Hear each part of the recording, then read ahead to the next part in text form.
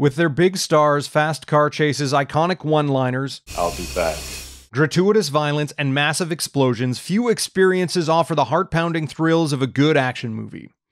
Early action films contained many of the elements that have come to define the genre, but they could be placed in other categories. Action sequences were woven into many martial arts movies and westerns, with stars like John Wayne and later Chuck Norris, Clint Eastwood, and Bruce Lee dominating the box office. An early pioneer of the modern action film was the James Bond franchise, which had Ian Fleming's iconic secret agent Bond.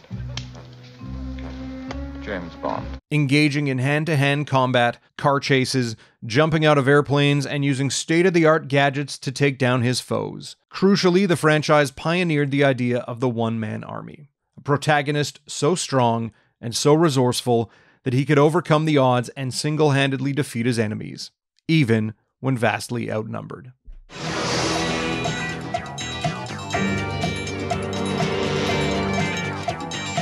Yet it wasn't until the 1980s that the modern action movie really came into being. It arguably started with 1981's Indiana Jones and the Raiders of the Lost Ark. Though it still contained many elements of an adventure movie, it immersed viewers in nearly nonstop action.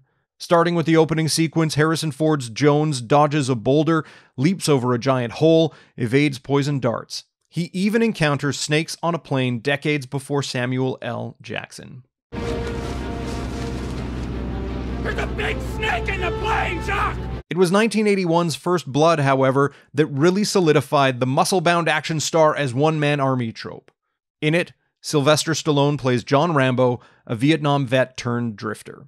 He happens into the wrong town where he comes across the wrong sheriff. The police officer doesn't want hobos in his town, and all Rambo wants is a bite to eat.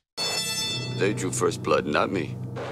When Rambo, who's clearly suffering from PTSD, escapes police custody, law enforcement throw everything they have at the highly trained former Special Forces officer. But they prove to be no match for him. His former commanding officer even shows up not to defend Rambo, but to protect the police officers from him. Rambo's a civilian now. He's my problem. I don't think you understand. I didn't come here to rescue Rambo from you.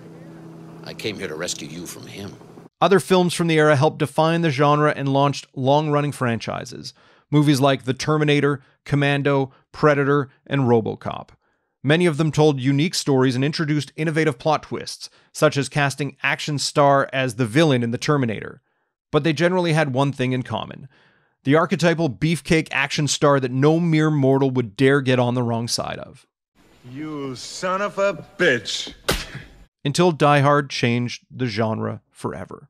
The 1988 classic could have been a much different movie as both Stallone and Arnold Schwarzenegger turned down the role. Bruce Willis, who was eventually cast as John McClane, has now been cemented in the collective consciousness as the star of big budget action films. But in the late 80s, he was known as a television heartthrob. When audiences first saw previews of Die Hard, they laughed at the sight of Willis in the role. The studio initially took his mugshot off the movie poster. Rather than the typical roid head, Willis's character was seen as more of an average Joe. Due to circumstances beyond his control, he was thrust into a perilous situation that brought out the best in him. Through brains, not just brawn, he overcame the odds.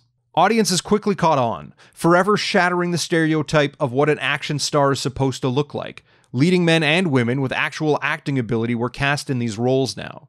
The format has been copied so many times it hardly seems novel anymore, with films like Under Siege, Speed, and The Rock using a similar formula. But there's no denying that Die Hard set the precedent. The 90s saw numerous Die Hard sequels and ripoffs, as well as the continuation of some of the iconic franchises, but also a number of new hits like True Lies, Face Off, and Con Air. The decade's biggest innovation was the advent of computer generated imagery. Look at the sculpture of Schwarzenegger's face used in the original Terminator, now see the shape shifting liquid metal seen in the sequel. 90s era CGI is often rightly criticized for adding overly shiny or cartoonish elements to films. Some were able to expertly use the technology, including 1991's Terminator 2 Judgment Day. Perhaps one of the few examples of a sequel widely thought to be better than the original, T2 saw Schwarzenegger revise his role as a time traveling robot. But this time as the good guy, trying to save John and Sarah Connor from the more advanced T 1000. The shapeshifting T 1000, played by Robert Patrick, was perfectly suited for early CGI, which tended to lack texture as it was portrayed as a shiny liquid metal in its transitionary state.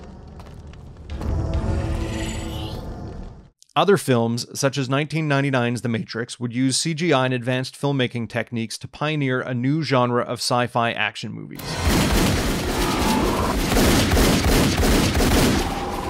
The tail end of the 20th century would also witness the rise of superhero movies.